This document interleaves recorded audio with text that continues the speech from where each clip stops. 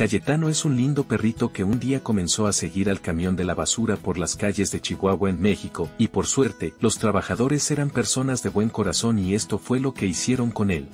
Durante varios días, este canino los acompañó en sus recorridos por la ciudad y ellos siempre cuidaron de él. Asimismo, se encargaron de que a este fiel perrito nunca le faltara alimento.